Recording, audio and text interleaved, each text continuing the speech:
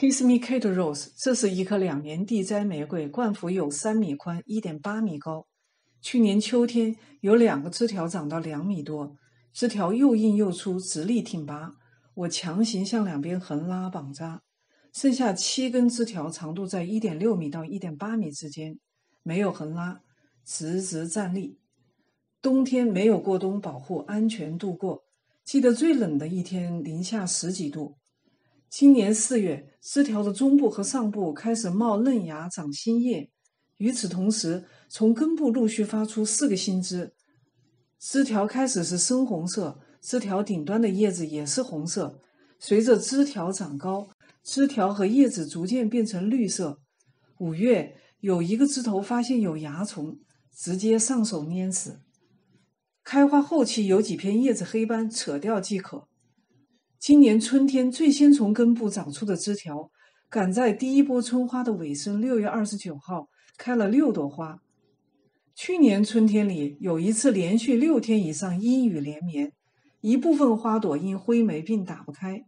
今年春天没有连续下雨超过两天以上，天气给力。这一波春花从六月二号到六月二十九号，一共有一百一十六个花苞，完全开放的花。共计八十五朵，剩下三十一朵，要么花苞太小开不出来，要么雨水淋湿后打不开。整体的开花率百分之七十三。去年秋天横拉的两个长枝条，在多个节点上发出新枝，分别有七到八个分支。这些二枝分支每个枝头结一个花苞。没有横拉的枝条，每个枝条的顶端发出一簇六到七个花苞。每一处里，居中最出镜的花苞最先开。这朵花开败后剪去，剩下的其他花苞陆陆续续先后开放。所以，不论是横拉枝条还是直立自由生长的枝条，枝条上结的花苞数量是差不多的。区别是，横拉枝条上的花在第一波春花里会同时绽放，直立的枝条上一簇花苞先后开放。第一波花修剪后，最长的两个横拉的两年生的老枝条，越靠近枝条顶端的部分，叶子变黄；一些新枝是盲枝，甚至有些叶子出现了黑斑。于是剪掉枝条的横拉部分，保留直立枝条部分，大约有一点五米高，以待观察。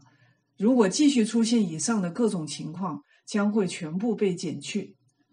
六月十六号和三十号分别修剪了花朵和枝条，整个植株大部分枝条都是直立的。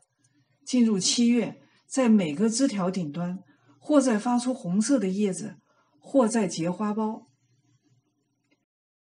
Kiss Me Kate Rose 在两年地栽的时间里没有生过疾病。顶端结花苞开花的同时，下面根部长出新芽。一边长个子，一边开花，生长旺盛，枝条坚硬粗壮，是玫瑰中的美女战士。